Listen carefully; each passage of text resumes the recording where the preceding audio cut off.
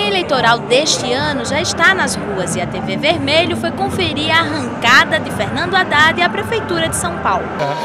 Haddad vai começar a mostrar com muita clareza porque ele tem os melhores programas para a educação, para o transporte público, para promover os céus que a Marta iniciou, para aperfeiçoar os, o sistema do bilhete único. A arrancada do Haddad saiu às ruas de São Paulo e reuniu 5 mil pessoas.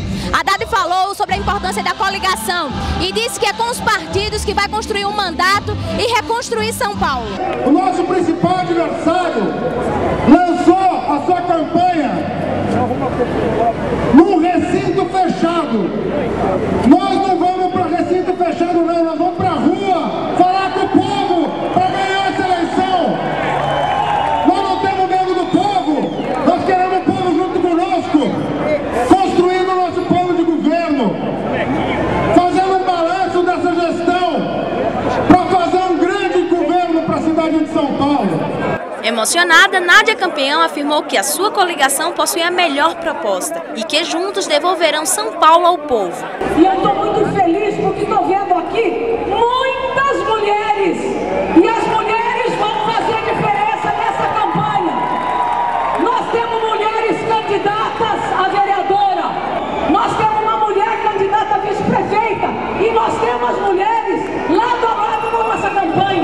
vereador Netinho de Paula, que acompanhou toda a caminhada, também externou seu apoio ao candidato.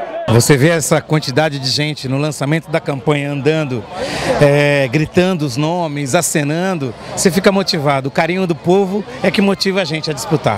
O Haddad falou da, da, forta, do, do, da questão dos partidos, uma coligação forte que constrói uma São Paulo forte. É assim que você vai construir, vai continuar construindo, fazendo o seu trabalho pelos paulistanos? Não tenha dúvida.